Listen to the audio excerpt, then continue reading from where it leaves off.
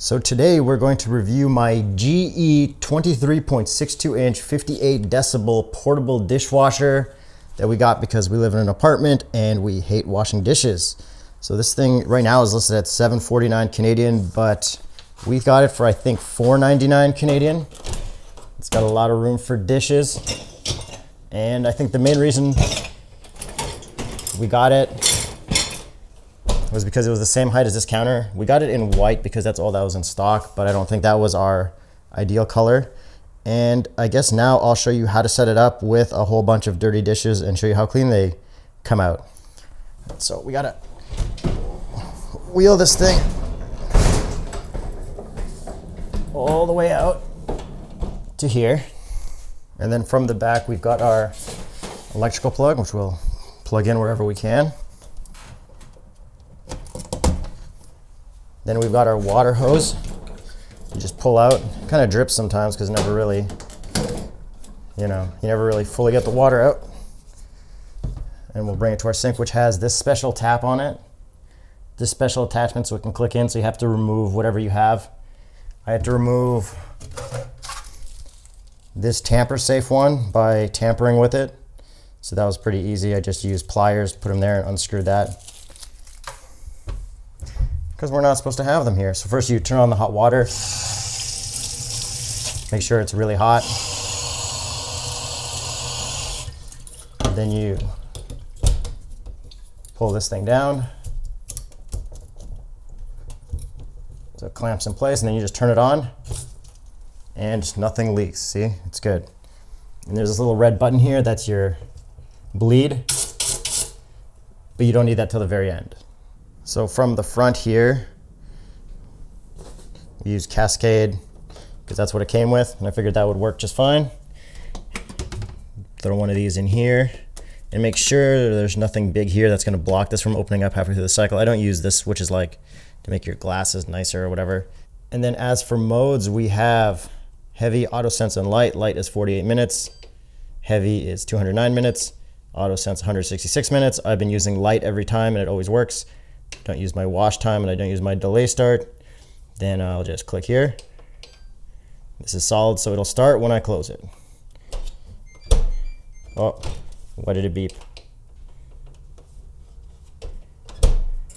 There, you heard the clicks? It's gonna start sucking in water right away.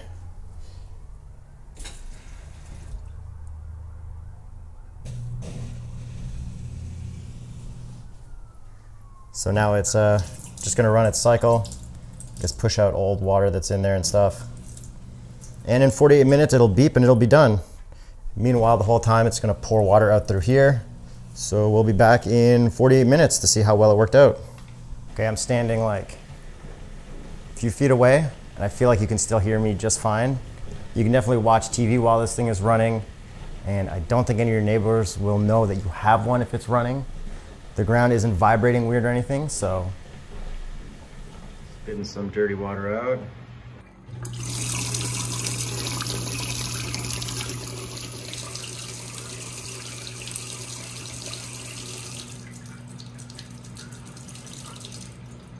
Okay, it finished its cycle. It did the little song, doot, doot, doot, doot, doot, doot, doot, doot. But I missed it, so if we open it up, ooh, steamy. See, everything's nice and clean. Well, I guess maybe not everything, but I can't explain that.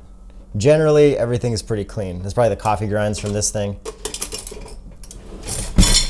And to unplug it, what we do is we turn the tap off, bleed it, then we can unhook that and Water never fully comes out. But then we go around to the other side and then we'll slide this right back in and then we'll unplug it and feed that back in and